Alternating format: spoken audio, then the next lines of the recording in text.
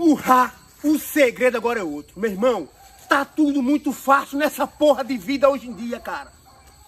Lá atrás, antigamente, quando eu resolvi sair de casa pra morar só, porra, que era que eu já passei fome, vocês sabem. Não era fácil, porra. Eu ia pra mata, pro mato.